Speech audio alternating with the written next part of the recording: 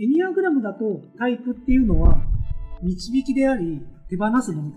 自分が分かった上でうん手放しましょう。そうすると何でもなれるじゃんっていう解釈なの。ソシオニクスって何が目的でこうするといいよみたいなのがあるんですか？例えば、僕、まあ、EII っていうタイプです。というふうに、まあ、判定が実際できると思うんですね。多分今僕のこの言動をしてても多分、見る人が見れば僕 EII だって絶対分かっちゃうと思うんですよ。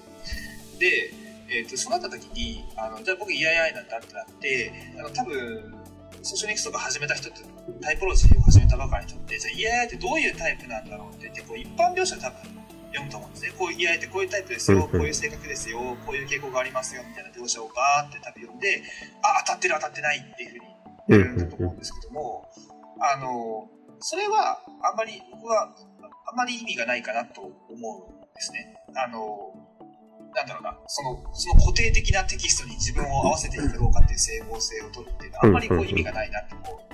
どちらかというと、ソーシャルネクスやっている時って別に自己理解というよりは僕は目の前で起きている現象ですよ人間関係の現象っていうのが何が起きているのかっていうのを整理しやすくなるっていうのが、まあ、最大のメリットになるかなって思ってます。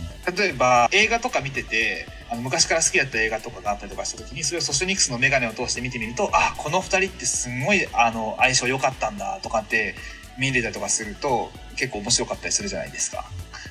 今の発想というか考え方みたいなのが、はい。その I、INFP っぽいのかなと思ったりして。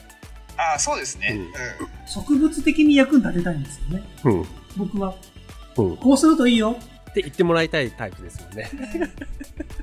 まあ、植物的にやるんだとしたら、それこそ、その相対関係のあの相手を見つけることが簡単になるっていうのは、すごく、まあ、もう多大なるメリットだと思います。相対関係というのははい。どういう感じでしたっけ？えっ、と、相対関係、えっ、と、双子の双に、あの、えっ、と、対応の、あの、なんだろうな、対戦の対、ななんだろう、えっとつ、ついっていう字ですね。これは何個、何関係は何個あるんですか？えっ、と、14関係あるはずですね。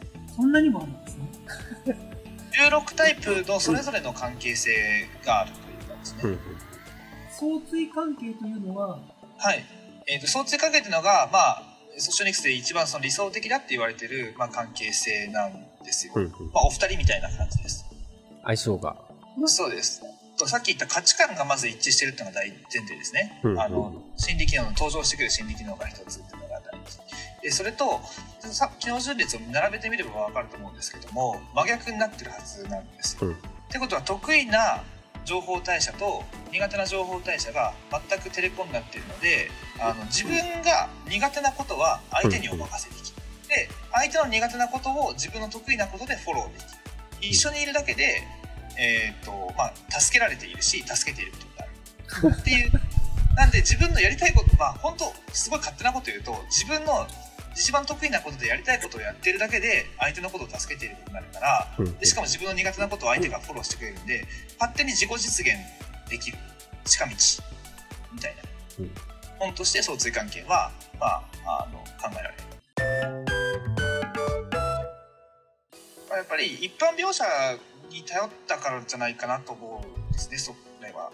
一般描写中身を見てって話じゃないですか？そうですね。あの、これすごいやっぱり結構やっぱソーシャルニクスやるならそれなりにやらなきゃいけないところっていうのは、ちょっと理論に対して理解を深めなきゃいけないっていうのがどうしても出てくるんですよ。あの、NE って何とか、うん SI って何とか、っていうことをしっかりこう理解をこう整理していかなきゃいけなくて、それと目の前で起きているそのじ実際のことっていうのの対応関係をこう何度も何度もこう反復して繰り返していって、理解を深めていくっていう作業になるんですね。目の前で起きている実際のことってうん何、目の前で起きてる実際のことじゃないですか。この人怒ってるなとかですよ。うん。こういう行動をしてる。っていうのをうん。自分がどう感じているか。っていうかまあ、バイアスかかってますよねって話じゃないですか。それを取っ払ってみましょうみたいな。理論的に考えてるって言ってるけど、全然この人理論的じゃないじゃんっていう人っているじゃないですか。だけど俺は理論的に考えてるんだって言えば、なんかその人はもうその理論的なタイプって、自分の辞任がそれでいいならそれでいいですよって話じゃないですか。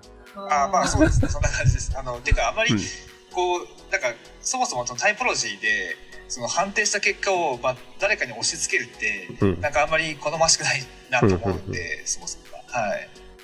本当に自分がこう論理的に考えてるかを見てみましょうって話ですよね。間違えないためには。ソシオニクスっていうところの感覚と直感？直感？うんえっ、と、感覚と直感っていうのは、これ確かに一番その概念がその掴みづらいうんうん。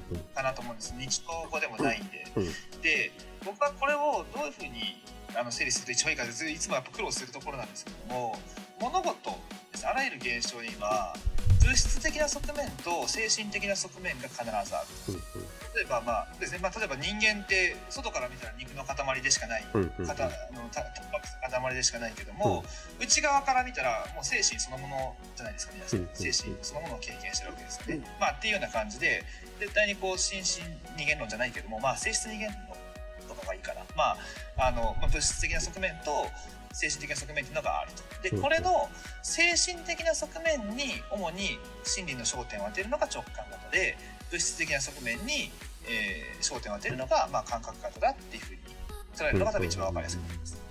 直感ですよ。僕、そうすると感覚だなと思って。